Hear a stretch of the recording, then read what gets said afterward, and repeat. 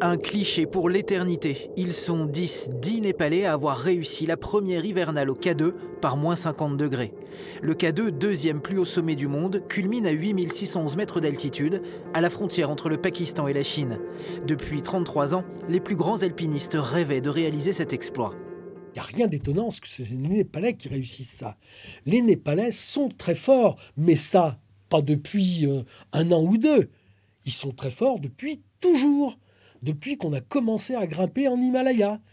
Les Népalais, sans eux, il y aurait très très peu d'Occidentaux, mais vraiment, qui auraient frôlé l'altitude des dieux, je vous le garantis. Ces dernières semaines, une soixantaine d'alpinistes tentaient cette ascension la plus dure du monde. La cordée népalaise était emmenée par Nirmal Purja, un meneur d'hommes hors du commun.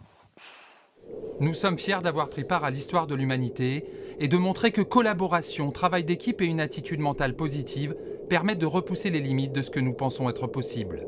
Ancien soldat des forces spéciales anglaises, Nirmal Purja a gravi l'an dernier les 14 8000 en six mois seulement.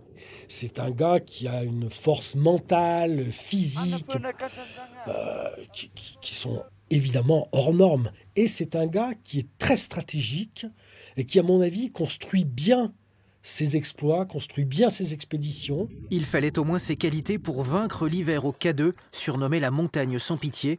Hier, dans une autre cordée, l'Espagnol Sergi Mingot, ici à droite, trouvait la mort à la suite d'une chute. Je regardais tout à l'heure dans, dans tous les amis et connaissances que j'ai eus qui ont fait le K2, eh ben, j'ai trouvé personne de vivant, à part Christophe Profit.